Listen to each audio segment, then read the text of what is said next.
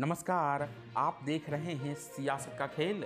जौनपुर ज़िले के मल्हनी विधानसभा में कल मतदान के बाद सपा प्रत्याशी लकी यादव और बाहुबली धनंजय सिंह के समर्थकों के बीच जमकर हंगामा हुआ। मल्हनी विधानसभा के रीठी गाँव में लगभग छः बजकर पाँच मिनट पर मतदान खत्म होने के बाद जेडीयू के प्रत्याशी धनंजय सिंह और सपा प्रत्याशी लकी यादव के समर्थकों के बीच किसी बात को लेकर विवाद खड़ा हो गया। विवाद इतना बढ़ा कि दोनों तरफ़ से नारेबाजी होने लगी।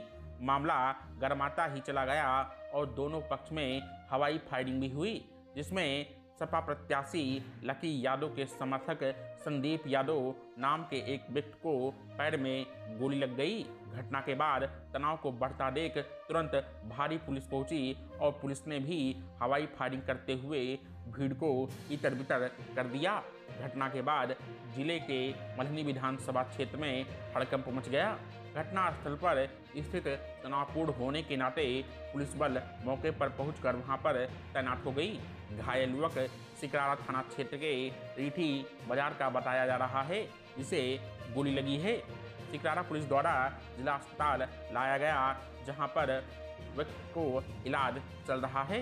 वहीं आपको बता दें कि संदीप यादव नाम के व्यक्ति ने जेडीयू के प्रत्याशी धनंजय सिंह पर आरोप लगाया है कि उनके द्वारा ही उन पर फायरिंग की गई है। आपको बता दें कि इस विवाद में घायल युवक ने जेडीयू के प्रत्याशी बाहुबली पूर्व सांसद धनंजय सिंह के समर्थकों पर गोली चलाने का आरोप लगाया है। सूचना पर पहुँची पुलिस ने हवाई फायरिंग करके किसी तरह मामले को शांत कराया। अगर आपने अभी तक हमारे चैनल को सब्सक्राइब नहीं किया है तो चैनल को सब्सक्राइब कर लें, बेल बटन ज़रूर दबाएँ। वीडियो देखने के लिए धन्यवाद।